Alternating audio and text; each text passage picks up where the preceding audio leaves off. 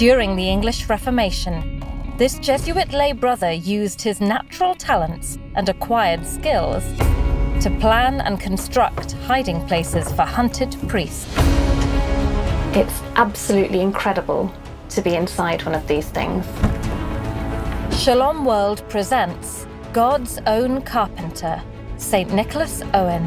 In the end, extremely important for the survival of the, of the English mission that he had not only done so much, but he kept his secret right until his death.